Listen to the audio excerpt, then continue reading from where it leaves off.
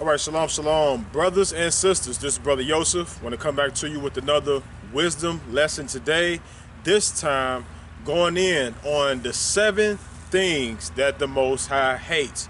All right, so as relates to our Heavenly Father, He's given us right ruling and right, you know, guidelines to follow and instructions in the Torah and the Torah of wisdom. He's laid out things uh, of what's pleasing to Him and what's not pleasing to him. And it's our job as we, you know, develop a greater relationship with our Heavenly Father to go in and see what is pleasing unto him and to do those things and to try not to do those things that will cause him to get into his anger and his rage and look at the examples of how he dealt with things in the scriptures. All right, so I want to share with you today seven things that the Most High absolutely hates. Now, for those of you that's been in the Word and been in the Scriptures a long time, all right, you've heard uh, about the seven things that Yah hate. You've you've heard about this plenty of times, all right. But there are a lot of people that's coming into this way that may have never heard this before, and I want to be able to give you just a quick breakdown on the seven things that the Most High hates. All right. So let's go to Proverbs chapter six. Proverbs chapter 6, and we're going to start at verse number 16. It says, These six things does the Most High Yah hate. Yeah, seven are an abomination unto him. Number one, 17, a proud look and a lying tongue, hands that shed innocent blood, a heart that devises wicked imaginations, feet that be swift and run into mischief, a false witness that speaketh lies, and he that soweth discord among the brethren. So, if you find yourself in one of these seven categories, or if you find yourself in multiple of these seven categories, it's time to get back to the drawing board and make some changes. It's time to sit back and examine your life and to, and, and to seek the Most High and to, and to put your face up to this unspotted mirror of wisdom and to be able to make the proper changes because you know that these things are offensive to the Most High. You know that these things are things that can separate us from the kingdom of the Shamaim. All right, and we need to be taking you know, checks up on ourselves. So let's talk about some of these though for a quick second. All right, number one, it says a proud look. So what is a proud look? A proud look is an individual. You ever seen an individual that look down on people? You know, they got a little bit of money, they got a little bit of success, and you know, they walk into a place as if everyone should serve them everyone should bow down to them you know just because they have a title or a position that people should be carrying their bags they should be carrying their briefcase all right? They should be tending to them all right? A proud look. They look down on individuals an arrogant look. And when you see it you will be able to identify right there on the spot all right? We have to make sure that we are not walking around in pride uh, we talked about that. If you go to uh, Ecclesiasticus or the book of Sirach, chapter 10, I believe around 7 to 13, you see it, it talks about these scriptures about pride. All right, pride is hateful. But let's go to Proverbs 21 real quick. We'll talk about this proud look for a minute. These are seven things that we have to avoid. I'm telling you, these things can be detrimental, uh, you know, for us making it to the Most High's presence in His kingdom. Uh, Proverbs chapter 21 and verse 4, it says, A high look and a proud heart, and the plowing of the wicked is sin. A, a high look and a proud heart. So the high look, the facial expression, it comes from the heart first a person has to be arrogant and prideful in their mind for it to express itself on their face. All right, a high look and a proud heart. All right, is sin. It's sin in the Most High. And it's not sin according to the first five books because we don't see a thou shall not have pride in the first five books. But it is sin in the Torah of wisdom. We see what the definition of sin is. And in First John chapter 3, verse 4, you know, whosoever committed sin transgresseth the law because sin is the transgression of the law. So pride is transgressing the laws of wisdom. All right, let's continue. So the first thing that the Most High hates in this category of seven is a proud look. Number two, a lying tongue. We have to stay away from individuals that have a lying tongue. All right, I, have grew up with quite a few individuals uh, in my lifetime that you could you couldn't even believe what they were saying when they were actually telling the truth because they lied so much. And you know, how many of you have felt the same way? I know if I was in front of you, you would be able to throw them hands up, right?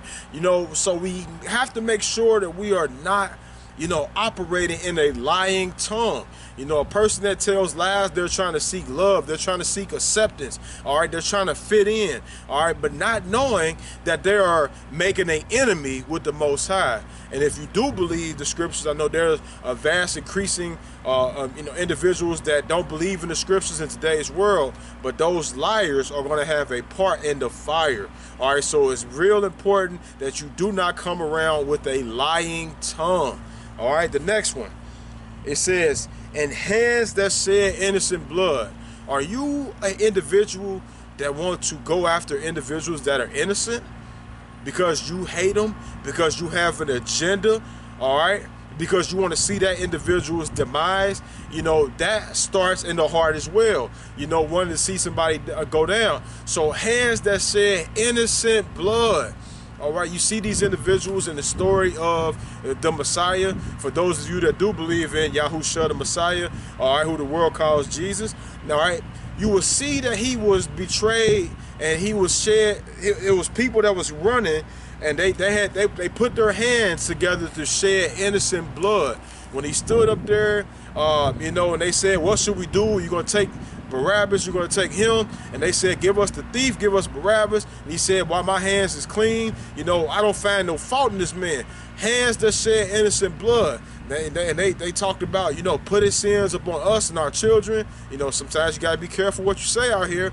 Hands that shed innocent blood. If you see an individual that's innocent, all right, you want to keep your hands off of them.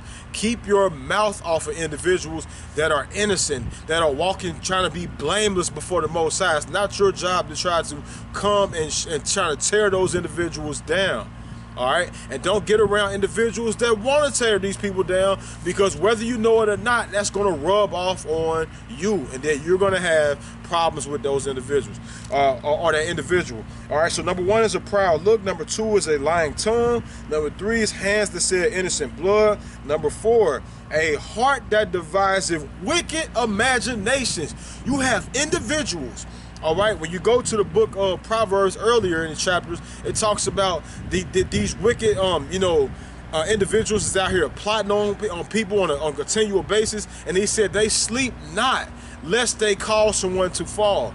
All right, some individuals they're up there and some of these analytical people that, that are thinkers. You know some of you thinkers you know it's good that you're thinkers and then some sometimes if you are not being led by the most side that thinking the thing that could be your greatest asset could be your greatest detriment. Some people their mind are, is devising wicked imaginations. They sit back and they think and think over and over again methodically on how they can take someone down that goes back to innocent hands that shed innocent blood, but a heart that devises wicked imaginations. Stand at home. I understand all of us. We have wicked imaginations from time to time.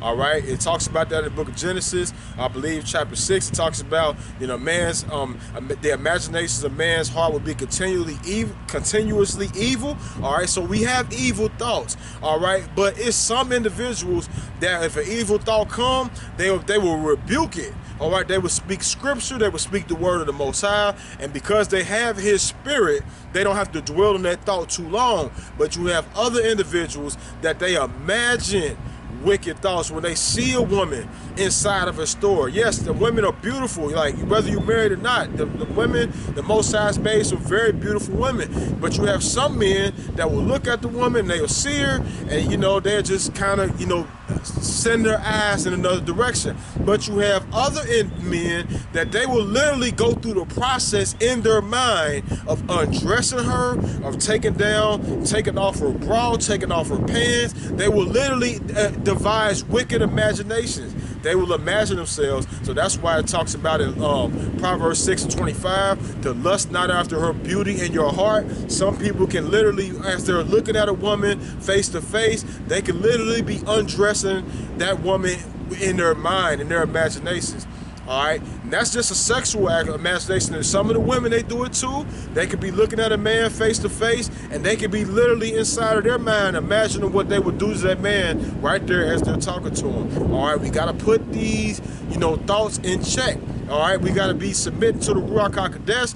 You can't, you know, if, if you're a woman and you feel like a man is, you know, looks good or he's handsome, let's continue. So now we talked about that, um, the, devising wicked imaginations and imaginations. And I just talked about the sexual perversions, but those wicked imaginations can go on and on and on. You talk about, uh, if you go back to the scriptures, uh, the lesson that I did about the law concerning sowing and reaping, you will sow that, you will see that individuals have devised, you know, pits for individuals, and he that diggeth a ditch shall fall fall therein. So you can devise it in your heart. You can have a heart that devises wicked imagination, and that imagination can, can actually overtake you. Like the situation with Haman, all right, the Agagite, uh, the one that tried to take down Mordecai. All right, he had a he methodically put together a plan on how to not only kill Mordecai, but to kill the children of Israel that were in that realm, that region.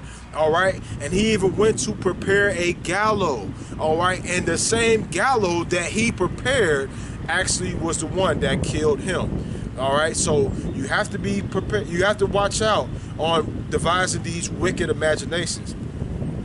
Next one feet that be swift to run to mischief. All right. How many of us we just can't wait to go run to some mischief? We can't run. We can't wait to go run and tell somebody about the latest gossip or what's happening on in the nation. And you know, we ready to get down there and be, and be mischievous. All right, you gotta make sure that that's not that spirit that you operate in. You gotta make sure that that's not you. I have to continually make sure that that's not me because there's something about this wicked flesh that makes us want to run to do mischief. It's something about this wicked flesh that feeds on gossip, that want to see somebody, you know, go through a downfall. All right?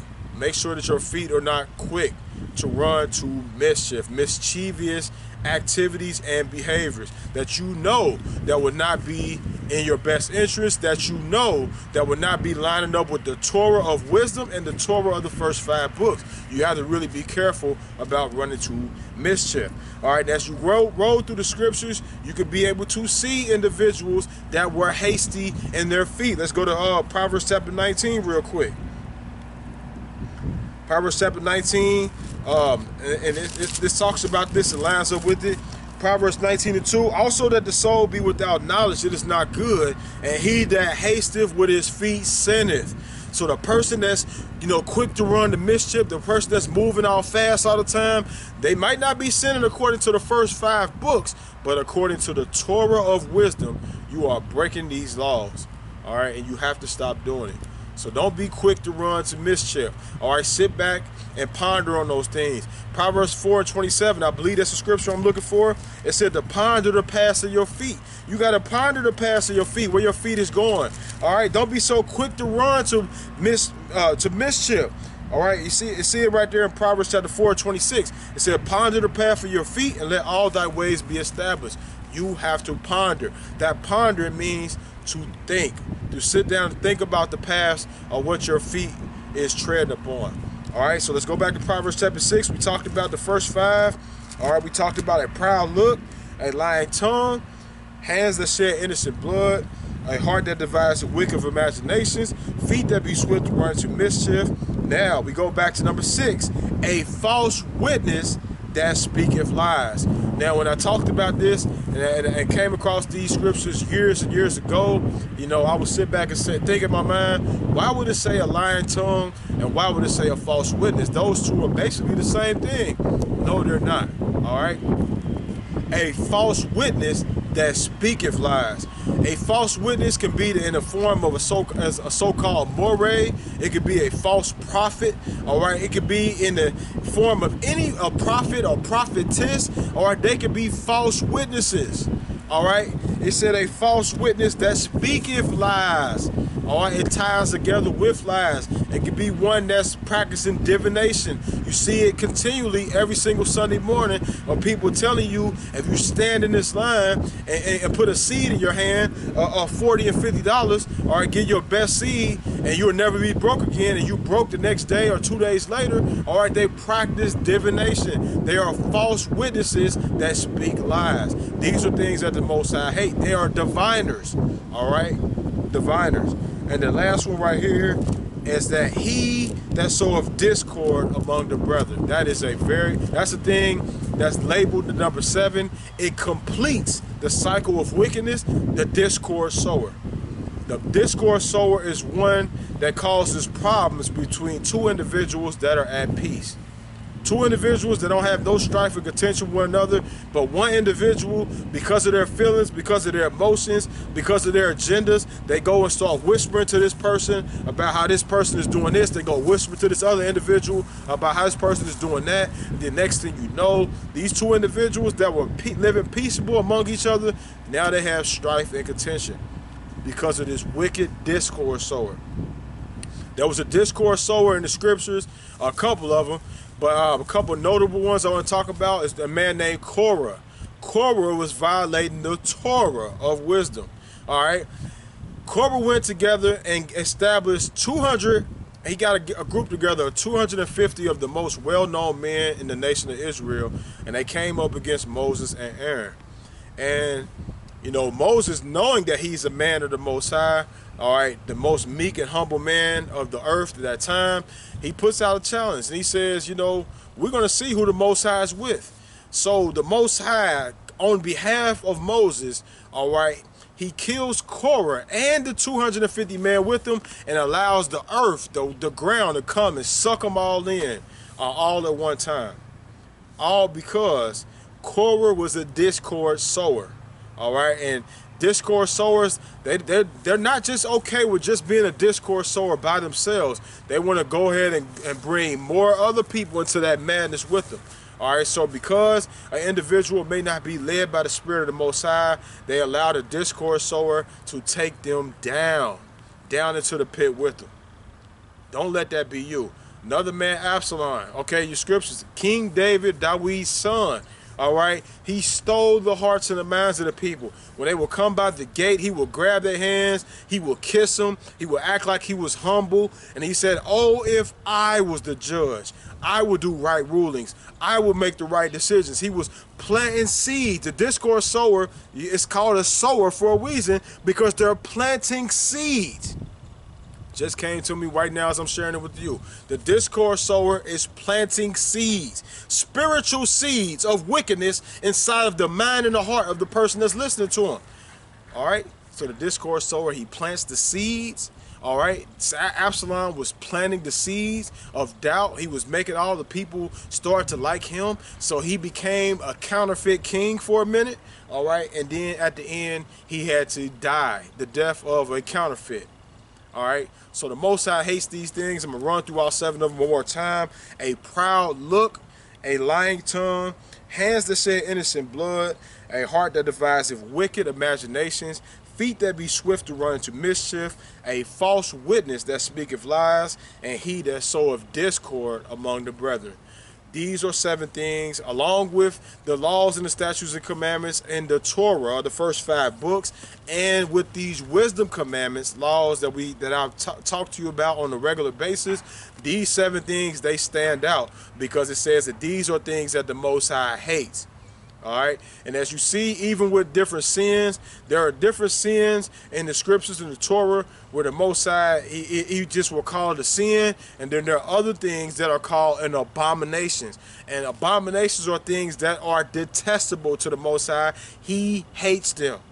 All right. And this is one of them. The discord sower is an abomination to the Most High. Some will say that all seven of these things are an abomination to the Most High. So with that said, If this video right here is a impacting you in any type of way that, that will help your spiritual growth, all right. If you if you're not already subscribed, click that subscribe button, click the bell button for notification, share this video with as many individuals that you know that will be interested in learning about this hidden treasure. Until the next time we meet again, I say shalom, shalom, Yah Barak.